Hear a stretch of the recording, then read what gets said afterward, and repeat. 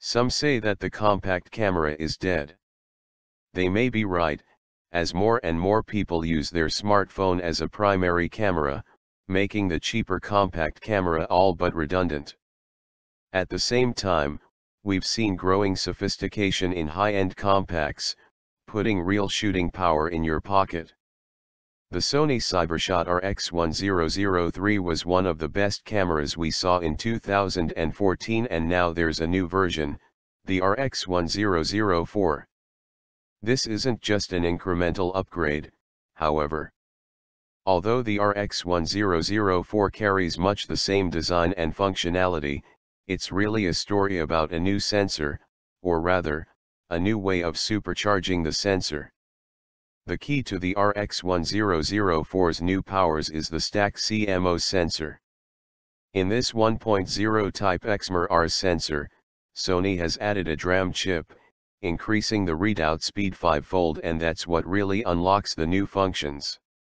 We got our hands on a pre-production sample of the RX100 IV and although we aren't able to judge the results, or take away any of the pictures we took, there's a lot of exciting stuff going on. Please excuse the black tape on the bottom of the camera pictured here, that was to stop us taking the SD card out. As the sensor can capture faster, you have options for very fast shutter speeds, up to 1-32000 SEC, which means you can shoot directly into the sun, for example, without overexposing.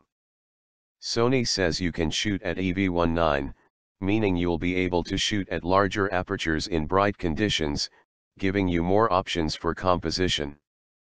Sony is boasting that the RX100 IV has an anti-distortion shutter. What this really means is that you won't get strange effects on fast-moving objects, because the information is processed so much faster by the sensor, so there's almost no lag as the sensor scans the subject. One thing we did get to test was the new super slow motion video option.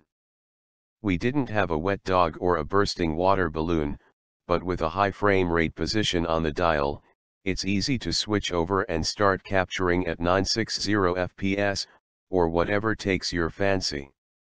To make space on the mode dial, Sony has combined its auto shooting modes into the same place, presenting IA and IA and as an option when you switch to the auto position. Back to the slow MO video and although you get wonderful slow motion, something that seems to be on trend at the moment, there is a loss of resolution in the process. The samples we've seen, however, are very good, and there are a range of options to help you get the results you want. One of the nice tricks is letting the camera constantly buffer this video using the video button to end capture rather than start. This means you just have to prepare the camera for capture, then hit to button once the event has occurred. It's great fun and although a regular feature on smartphones, we can't wait to see the results from the RX100 IV getting shared. There's also the option for 4K video capture with no pixel binning, as well as the option to extract 17 megapixel stills from it as you are recording. It's going to be a great tool for both photography and videography and much of that comes down to the new faster sensor. Aside from these sorts of fast sensor tricks, the RX100 IV offers the same great features the predecessor did too. That makes for a camera that has a great range of diversity, packing everything into a pocketable package, with a handy control ring on the front around the f/1.8 24 to 70 mm Zeiss lens. One of the highlights for us is the viewfinder.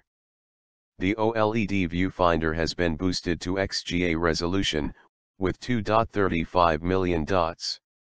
It's great the way it packs away for display-only shooting, but from the time we spent using it today, it's sharp, bright and clear. Yes, it's on the small side, but for shooting in bright conditions, it's wonderful to use.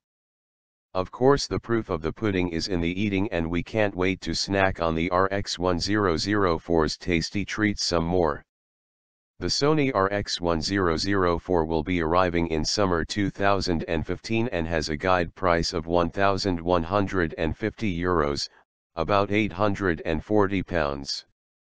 That's a slight bump above the 650 pounds of the RX100 III, so although you get a lot of attractive features, you're going to have to pay for them.